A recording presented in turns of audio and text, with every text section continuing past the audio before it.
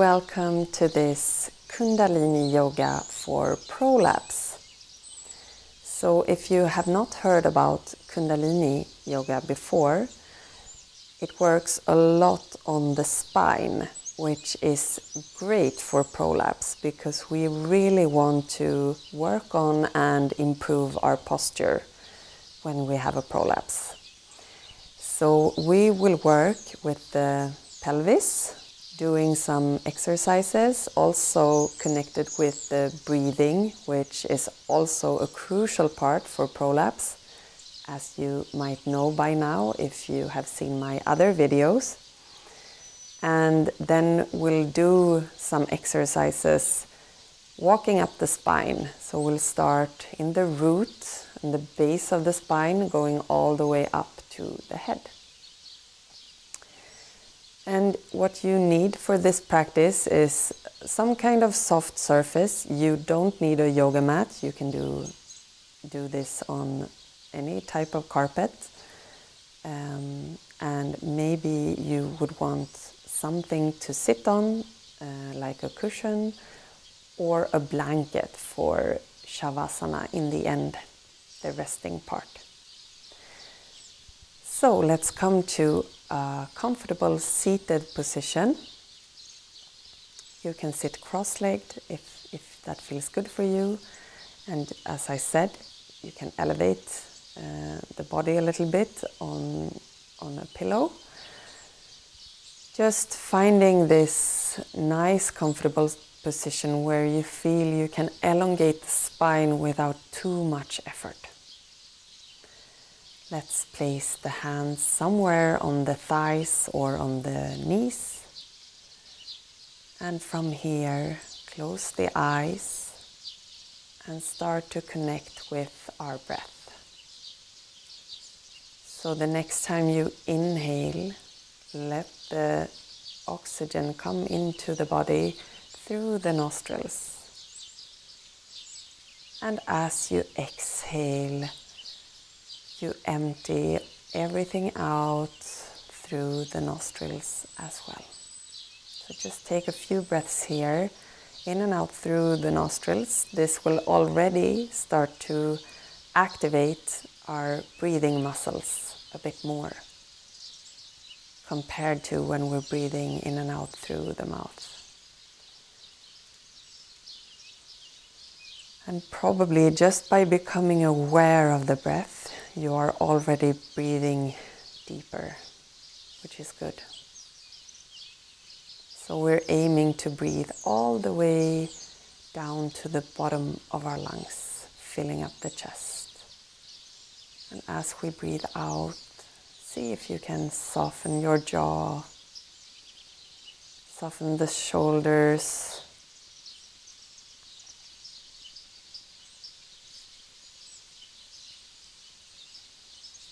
And the next inhale, see if you can elongate the spine a little bit more. And then maybe slightly just softly rock forward and backward with the upper body. So we tend to lean forward a lot. Now we want to find this center point where the spine comes up from the pelvis in kind of a straight line. The spine itself is not straight. We don't want to lean forward or backward. So see if you can find this position where you almost tip backward, but you don't. So now we're going to do this lateral breathing technique that I'm talking about in other videos. So if you want to go deeper into it, please visit one of those.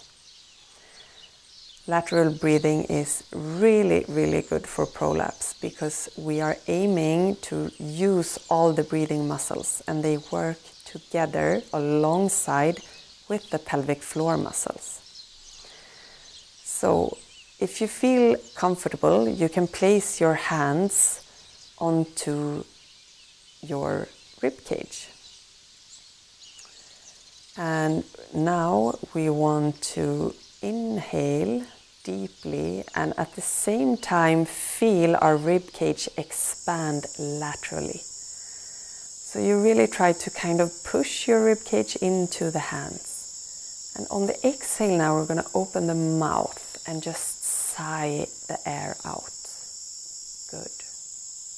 So you inhale every time you inhale it comes all the way into the nostrils, down to the bottom of the lungs, kind of pushing your hands out to the sides, relaxing the shoulders at the same time. And as you exhale, everything comes back into center. Good. Inhaling, expanding, also into the back rib cage. If you want to, you can place one hand at the back of the rib cage, so on your back. And as you take the next inhale, you try to inhale toward that hand or arm or whatever you want to place there. Just feel that you can kind of push a little bit with the rib cage into this part that you're holding there. And each exhale that you take, please make a small sigh or any sound that makes you feel a little bit more calm. Good. So you take four more breaths here. You can place the hands wherever you feel good now. Really still focusing on the diaphragm and on expanding the whole rib cage without lifting the shoulders too much.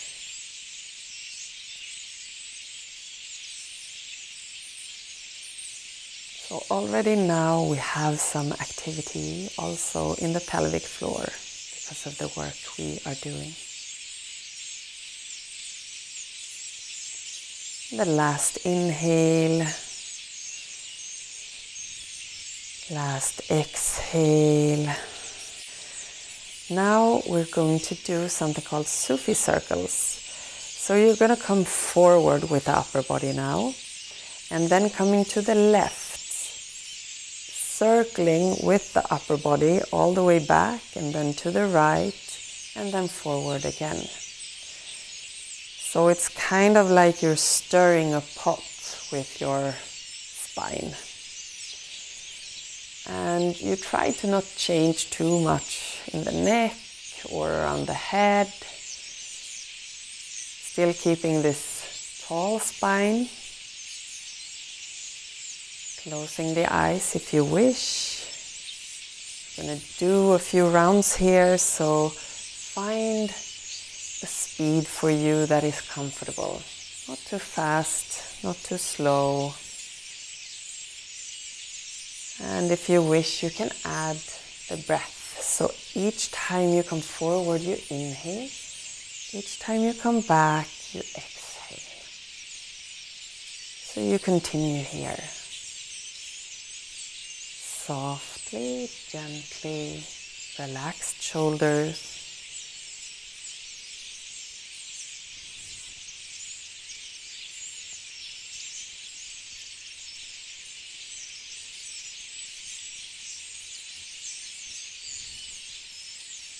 And slowly coming back into center, just stopping here, take a breath.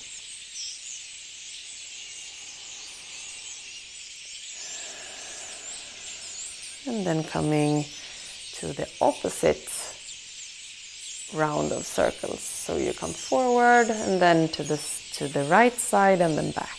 And then to the left and front. So I want you to focus on where the spine connects to your pelvis. Can you visualize how circulation is coming into this area? It's so important, so crucial because the nervous system goes from the brain all the way down to the pelvis, to the hips, and then out to the legs and feet. So it's really, really important that we keep this area vital.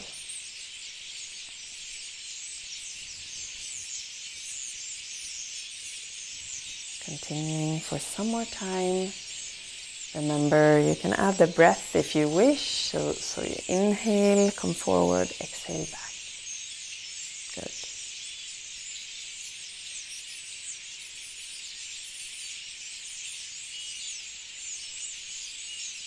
And slowly, when you're ready, coming back into center, stopping here, close the eyes, and just notice the area I just spoke about. Can you experience some sensations here? Anything tingling, anything moving, circulation, warmth, maybe you're cold, anything you can experience. Just notice.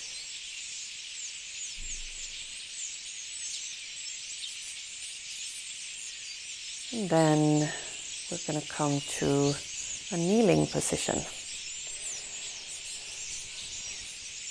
So we are going to do cat and cow if, if you can on a kneeling position. Otherwise, uh, you can sit with a cross-legged position. That's fine too. So you place the hands on, on the legs. And what we're going to do now is that the first round we're going to focus on our pelvis. So we really want to work with the pelvis. It's we are aiming to really take the pelvis into all its different positions. So you can slowly start to just lean forward a lot so that your pelvic bowl tips forward and then backward and you're kind of just taking the navel button toward the spine to kind of um, make a crunch there. So you do this in a rhythm that feels good to you. Maybe you want to close the eyes.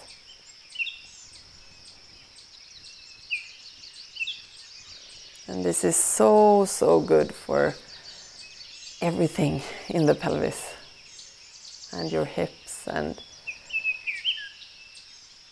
the different organs we have here our bladder, uterus, rectum.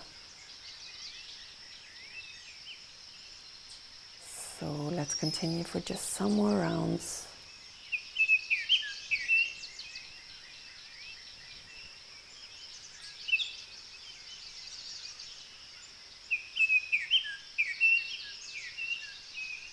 And then slowly coming to just a seated position, close the eyes. And again, observe any sens sensations.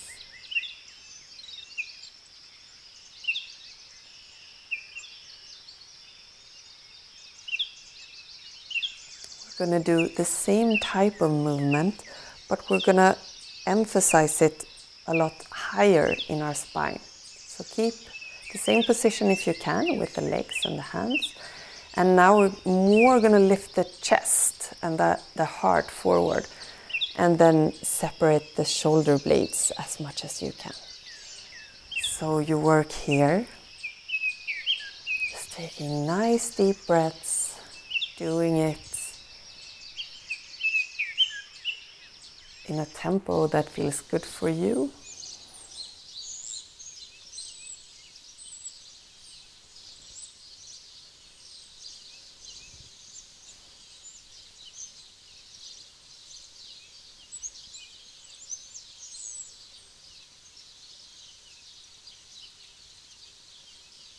Good. A few more rounds.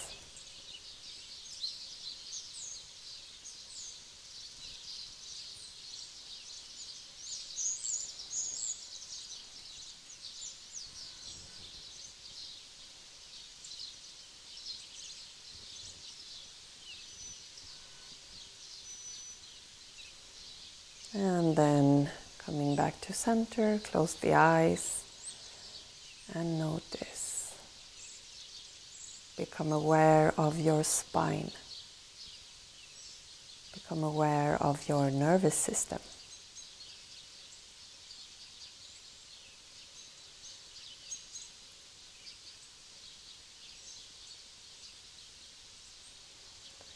Maybe taking a deeper inhalation. And you can choose now if you wish to stay on the knees or coming to a seated position. Cross leg position. So we're going to work on some rotations for the spine now. I want you to place the tops of the fingers on top of your shoulders. And now we we are going to inhale to the left and exhale to the right. So you take the tempo that you prefer. You can do it really slowly actually, especially in the beginning, it's really nice. And then as you start to feel the rhythm of your breath, and of your body's movement, maybe you want to increase the speed a little bit.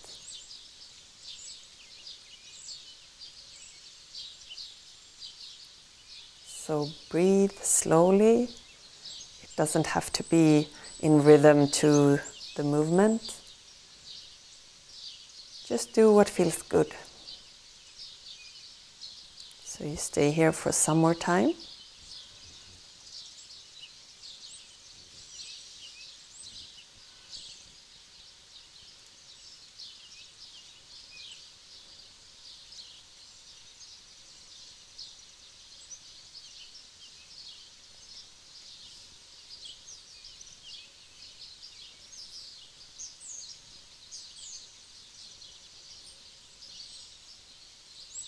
Last few rounds. Maybe you want to speed it up a little bit.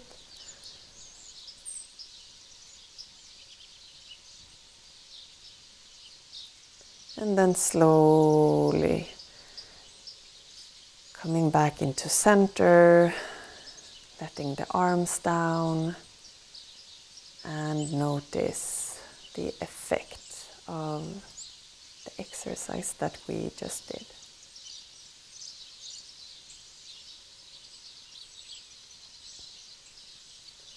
We have one more exercise before Shavasana, resting. We're going to do some neck rolls. So you tip your chin forward and then coming to the left, and then to the back, and then all the way to the right. So you do these circles in a slow way. The neck is quite sensitive, and many of us have tensions here. So just see if you can breathe. So maybe you want to breathe in when you lift your face toward the sky and breathe out when face is coming down toward the earth. Slow movements and maybe you even want to stay somewhere. If, if you experience more tightness somewhere you, you can stay there and take one breath to see if anything changes and then you circle again. And the next time you come forward you take the other way so you circle it in the opposite direction. In a way that feels good. No stress. Just being here and now with your neck and your breath.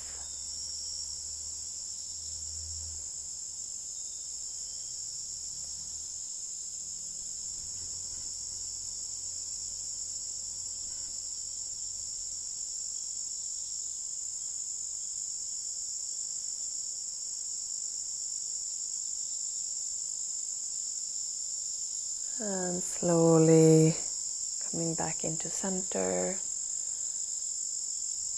Just notice.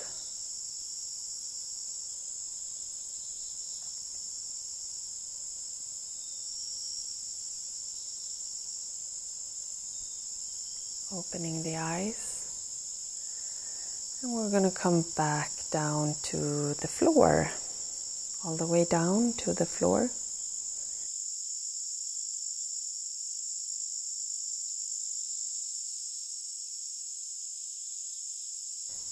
Can put your hips up on a pillow. And maybe you want to keep your knees bent, feet on the floor. If you want to cover yourself with a blanket, please do. And relax the arms alongside the body, just giving our pelvic floor some rest here from gravity.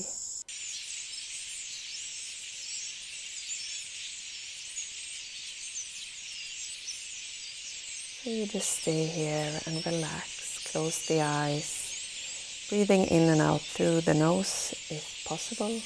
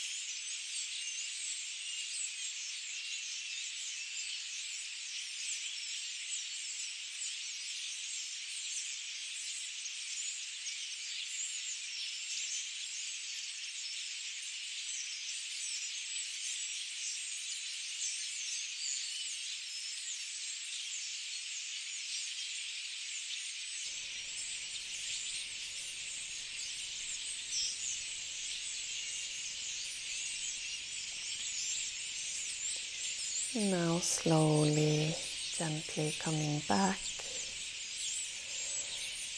So you stretch the arms up overhead. Maybe you want to stretch the legs, the toes, everything.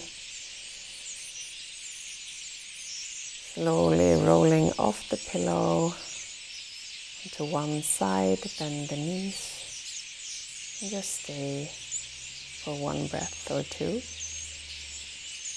before you come up to a seated position again.